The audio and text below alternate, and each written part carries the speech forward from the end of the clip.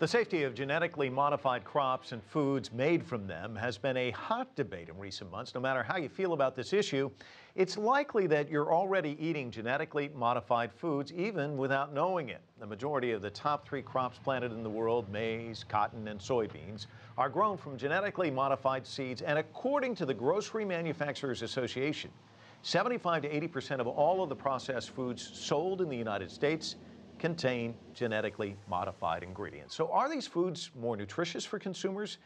And are they more efficient for farmers to grow, as their proponents claim? Or are they a threat to public health with side effects that we've yet to discover? Joining me now to offer their views on this, Jeffrey Smith, a food safety advocate. He's also the executive director of the Institute for Responsible Technology. He's also the author of Genetic Roulette, the documented health risks of genetically engineered foods and Ramez Naam, a computer scientist by training and author of three books that endorse the use of biotechnology to improve our quality of life. His latest book is The Infinite Resource The Power of Ideas on a Finite Planet. Jeffrey, Ramez, uh, welcome to the Heat. Thank you both for joining us.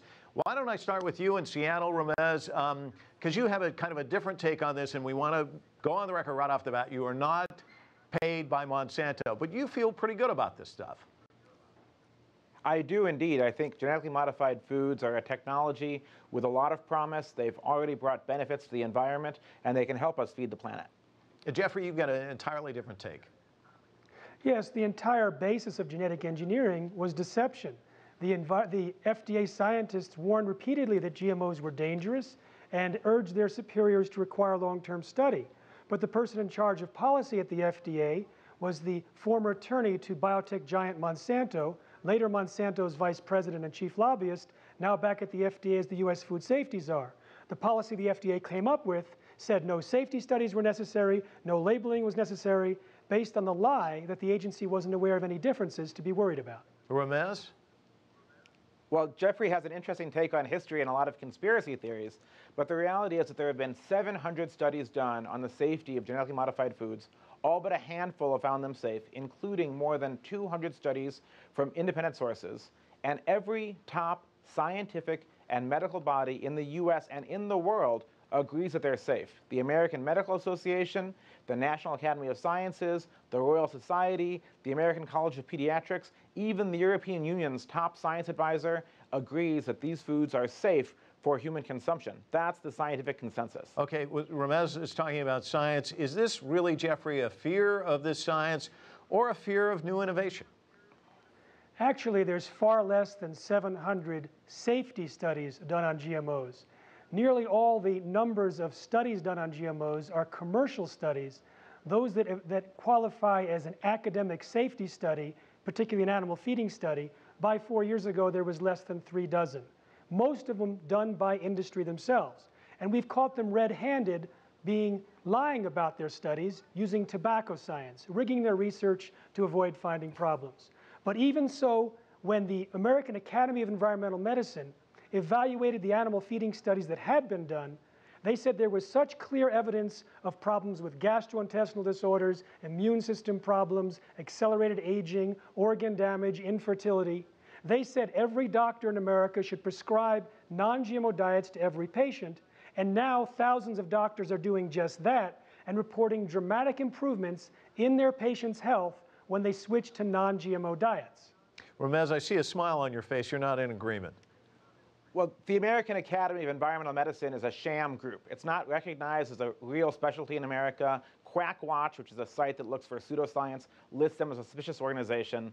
Uh, the reality is that every one of the studies that Jeffrey cites in his self-published book has been refuted. Every one of those has been replicated in other places by other labs, many of them in academia, totally independently, often six or seven times with larger studies, and they all find that they can't find this health impact that Jeffrey is talking about. Even the European Union, which is very anti-GMO, they commissioned over 200 studies of GMO safety over the last decade, and their conclusion was that there's no health risk from GMOs. It's so clear, actually, that in France, the French Supreme Court overturned France's ban on genetically modified foods because it ruled in a very anti-GMO country, it ruled that there was no evidence that the government of France had presented of any harm to humans or the environment whatsoever. So the ban had to go.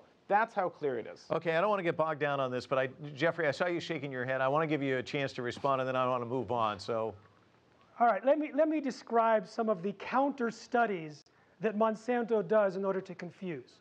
Years ago, scientists discovered that, their Monsa- that soy from Monsanto's genetically modified soy had 12 to 16 percent reduction in phytoestrogens. So Monsanto rushed a study to publication saying there was so much statistical variation we couldn't even do a analysis. It turns out they had instructed the laboratory to use an obsolete method of detection that was given up because it was prone to high variability. In other words, they designed the study to force the conclusion that there was no problem. And when their raw data is reanalyzed by proper independent scientists, where Monsanto says the rats had no problems, the peer-reviewed published studies by independent scientists on Monsanto's raw data show that there were signs of toxicity. And when they take those studies from 90 days and move them to two years, there's not just signs of toxicity. There's multiple massive tumors, early death, and organ damage, which Monsanto immediately released a, a ocean of disinformation to try and protect its billion dollar investment from these dangerous okay, foods. uh, let- let's let's move on a little bit because I know I, I, we could sit here. Well, this could go another 20 minutes. I know, and both it'd be back and forth. Let me let me ask you this, Ramez. The biotech industry has spent millions defeating uh, ballot measures in the United States that would require products containing genetically modified ingredients from being labeled as such. You know that this is going on in Europe. You mentioned that they're kind of down on this. Why not, if, if there's nothing to worry about, why not let the buyer beware? If they don't want it and they see it, you know, why not let it be listed as such? Well, I think Monsanto is hurting themselves in this way, as are other food producers. Uh, the reality is that most consumers don't really care that much about GMOs, but they do think that they should be labeled. So there's not much scientific reason or any scientific reason to label these, but there's so much consumer demand that I think industry should just go ahead and put a label on there. But it matters what kind of label it is. We don't want a skull and crossbones because that would convey something that's just simply not true. But an ingredient label on the back that says may contain genetically modified foods, I think that's totally reasonable. And what we've seen is that doesn't really change consumer behavior anyway. I see. Well, you both probably agree with this because, Jeffrey, I'm sure you think the labeling should be there. Absolutely. In fact, when the doctors are prescribing non-GMO diets right now, they have to give out our shopping guide, non-GMOshoppingguide.com, to help people become non-GMO eaters. It really shouldn't have to be up to us to put out a shopping guide. It should be on the label so people can make a choice. Jeffrey, what's the Well. Jeffrey talks about Go ahead. Ramez. Jeffrey talks about these doctors. Jeffrey talks about these doctors prescribing GMO diets or non-GMO diets and seeing improvements, but there is no documentation of this whatsoever. This is pseudoscience. This is anecdote. There is no documented, peer-reviewed evidence that has stood up to criticism from the rest of the scientific community that shows any benefits in this way whatsoever.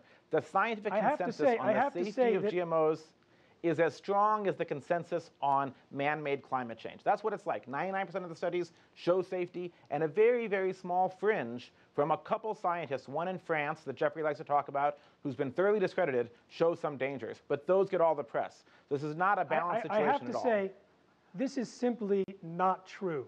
I speak to scientists all over the planet and have for 17 years. Now, I will say I think you pick them very carefully. I will say there are great fear among scientists from speaking out. Because, for example, when the Russian scientists discovered that when rats were fed genetically modified soy, more than half of their babies died within three weeks, she was told no more GMO research because of pressure on her director. When And six uh, other labs tried to replicate that study and found that it wasn't no, true. actually, that is not true. Yes. There has not been a Yes, it is single study. No, it is not true. We Six. look at all, no, it is, you can send it to me and you can show me that they did exactly the reputation, the replication with rats. No, they have been saying, They oh, did there's better this study with that was. larger studies no, no, of more rats. They simply have not. They did better. Okay, let's Further- leave it there because I, I don't think you guys are going to agree on this one. Let, let- me see. I, I can guarantee I- we're not going to agree on that. I, I want to get the golden moment, which is talking about golden rice, and I'll give you the first shot at this, Jeffrey. Tell us about golden rice and why should people be worried about it, or should they be worried about it? Okay, so the process of genetic engineering is fraught with unpredicted side effects. When you insert a gene and clone the cell into a plant, 2 to 4% of the DNA is different. Hundreds or thousands of mutations can exist within the genetically engineered crop. So in Monsanto's corn, there's a silent gene that is now active that produces an allergen called gamma-zein. In their soy, there's a, as much as a sevenfold increase in trypsin inhibitor, a known allergen.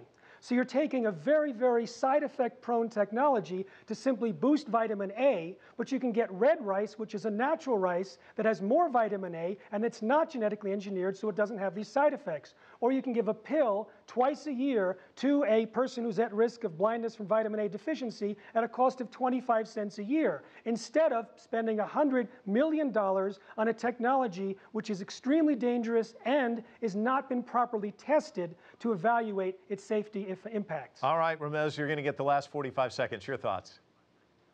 Five million kids don't have enough vitamin A in their diets around the world. A quarter million go blind each year, and most of those go on to die. Golden rice has been in testing for 15 years. It's a rice that has beta carotene, the same thing that makes carrots orange and gives you vitamin A. And if we can get people to grow it, where it's the most commonly eaten food in the world is rice, and help save hundreds of thousands of kids, by all means, we should do it. It would be madness not to. All right, we're going to leave it there. Thank you both for bringing the heat to the broadcast today. Certainly appreciate it. Thanks, Mike. Thank you.